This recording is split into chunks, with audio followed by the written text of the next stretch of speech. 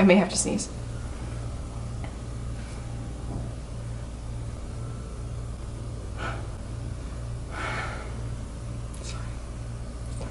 Okay.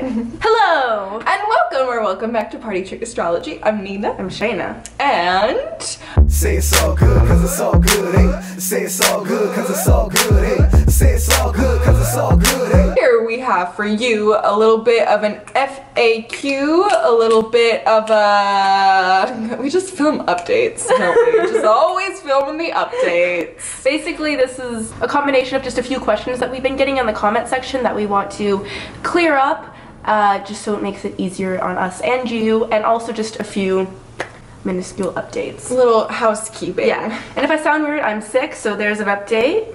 I'm fine though. I'll live through it. Maybe. What's going on? We mentioned this in a different video. This shows the break between. So we're in the middle. Mercury retrograde. Yeah, we're in the middle of Mercury retrograde, but we're also at the very midpoint of our rising series, mm-hmm. and we're about to go on vacation. We have some fun videos planned basically for a break between our rising video. I know everyone's, you know, excited to see their Aries rising Which and their Taurus very nice of you guys. I know it's very exciting to see those things. We have some fun videos planned specifically for our vacation period. We're going to Brazil, if you don't Yes. didn't hear from our last video. Like Nina said, so even though we're not going to put out a few rising videos for the next couple, they are 1010% coming. Yes. Okay? Don't fret. It'll just be a little bit. And also, same with birth charts. Your birth charts are coming. Um, like we said, it just won't be until the new year when we get back and get sorted and whatnot. Speaking of which, we get asked in the comments a lot uh, to do the, your blank rising next. Yeah, like saying, oh, please do Leo rising next to Aries rising next. And if you haven't, if you're not familiar with the order of the zodiac signs, we are going in backwards order. So, so that when you go on our channel, when the whole series is over, you see it Aries to Pisces. So, unfortunately, no matter how many people comment, do Taurus rising next, do whatever, Whatever. rising next, um, we're going to go in order. Uh, Backwards. but yeah, backwards order, but you are going to get your rising sign up eventually. Rising and skit. The next question that we get asked a lot, especially like mostly on our interception videos, is how do I find my interception?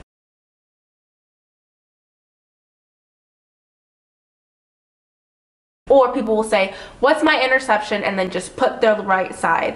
But the thing is, is that I was doing that for a while. We were Yeah. answering, but then I was like, the whole point of this video is to teach you guys, and we're not going to teach you anything just by telling you. Yeah. So we wanted to go over more clearly how you find your own and other people's interception. So there's two ways to see it because you can look at the grid form of the chart or the circular form of the chart.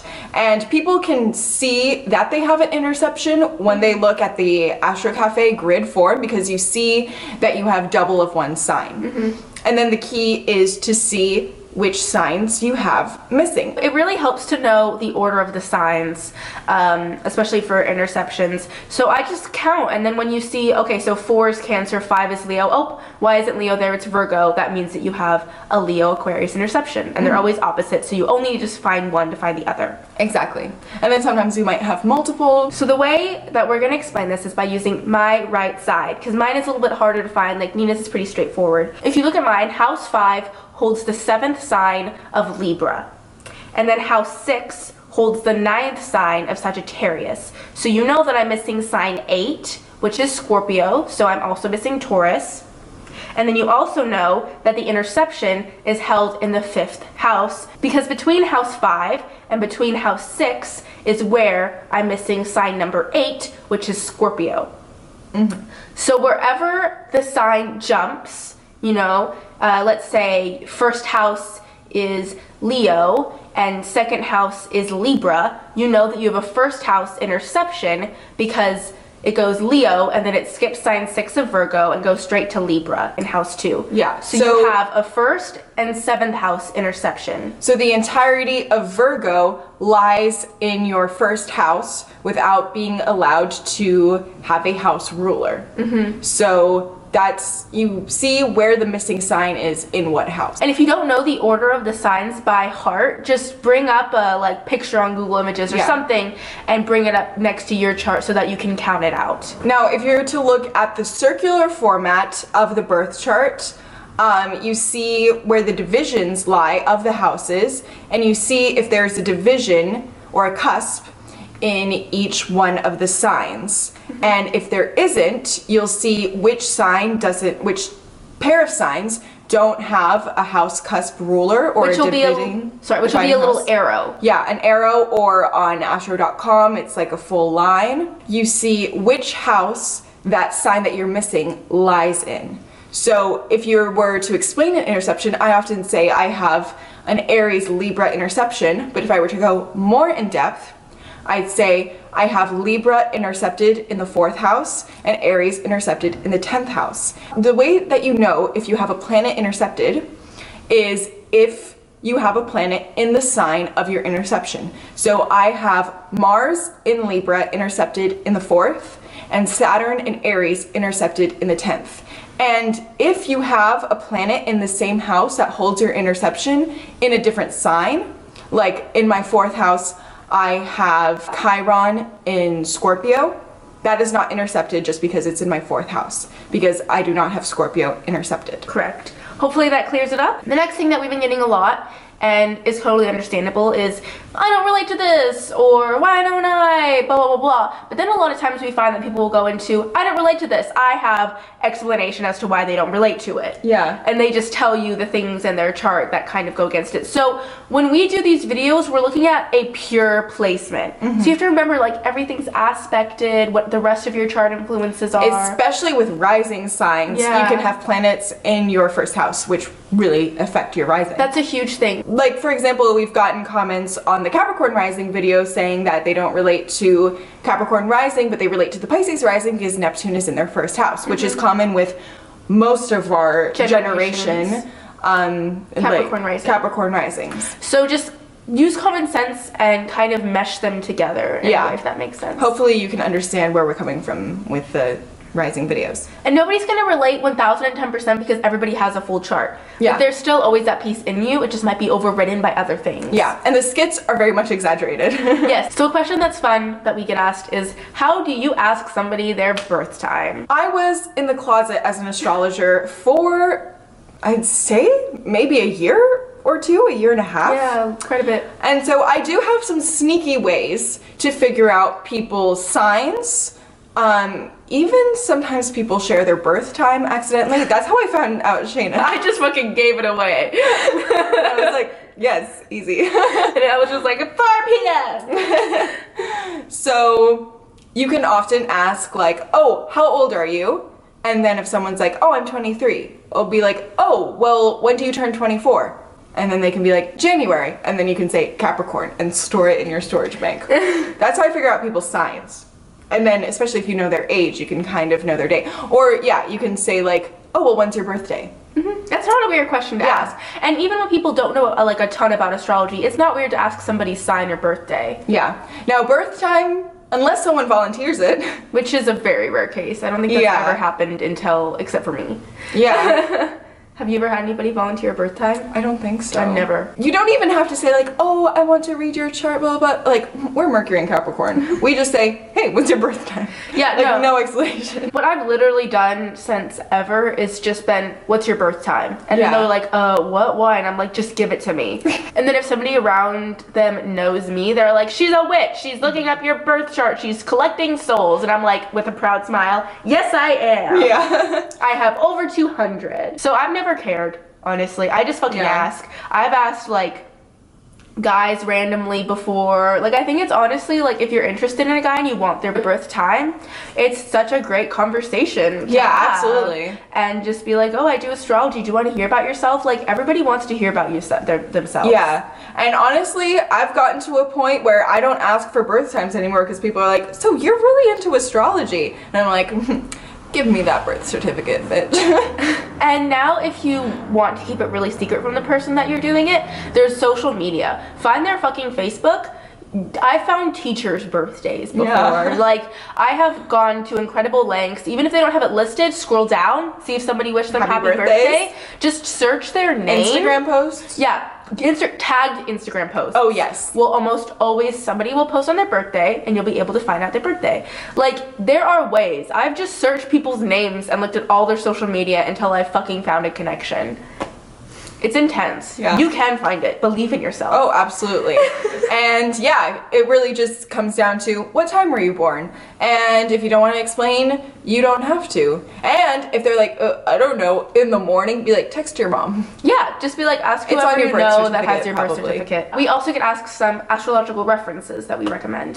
The core of what I learned as a beginner was on YouTube. Me too. She So, off of yeah. recommendation. Um, Alyssa Sharpe has like a series for a lot of placements, Mm-hmm. so you can watch her. And she uh, speaks similar to how we do, which is just very down to earth. I think Yeah. as just very relatable. Um, a lot of astrologers on YouTube, I find I'll watch them and I'll even be like, "This is very thinky." But she is so just like, "Oh yeah," like she per layman's terms. That's how she speaks. You can just put in like, oh, um, Chiron and Scorpio. I usually just like type in websites and see like what I see or what I gravitate towards in terms of like, oh, I want to learn about Lilith, and that's really hard to learn about actually. It's the hardest thing I found to learn about. yeah.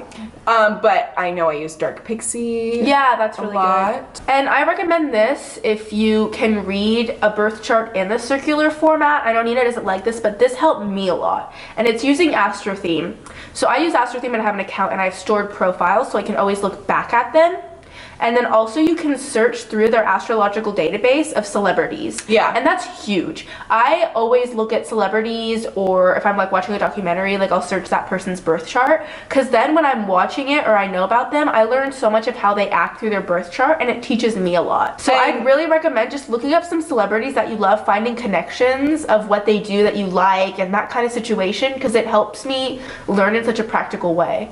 Or if you have a placement and you want to see what celebrities share your placement, you can look up um, like, oh, Saturn and the 10th celebrities on Astro Theme. And that's how me and Shaina know never to make a sex tape because Paris Hilton, Kim Kardashian share those aspects Yeah. with us. I personally don't um, like Astro Theme as much, but I do like, and Shaina doesn't like this, astro.com, especially for looking at the circular chart. And then Yeah, definitely just find your website that you like. and then in terms of books, if you want to get a great comprehension of the signs, read The Secret Language of Birthdays. That is all about sun signs. But if you have a grasp on sun signs, you get a grasp on the sign tropes or the sign qualities. And then if you understand the qualities of Virgo and you understand the qualities of Mars, it becomes a very intuitive thing to realize how they mesh together. And then for a more not in depth, I guess, because the secret language of birthdays is like this thick. Um, but for a more broad idea, um, I gave Shaina the only astrology book you'll ever need. And it honestly helped me so, so much. Like, I love the way that book is set up. It's very simple, very straightforward. You could skip here and there. I think it's just a really, really great book to just start figuring out things and making connections. I would highly recommend it. And if you have time, or if you're ever in some kind of you're doing something like cleaning your house like I do, mm-hmm. that you can just like listen to something for a really long time, you get so much information from watching live streams like the Peace Dealer has mm-hmm. great live streams and interviews where you're not necessarily learning about like oh Saturn and Pisces Saturn and Aries but just hearing people talk about astrology that's really how I picked up most things. Also if you're interested in not just astrology but spiritual things in general and if you want to dabble in Vedic astrology one of my favorite YouTubers ever is Listen to the Stars, aka Nicole Brenny. And she deserves so many more subscribers. I did a life coaching session with her, and she does past life readings.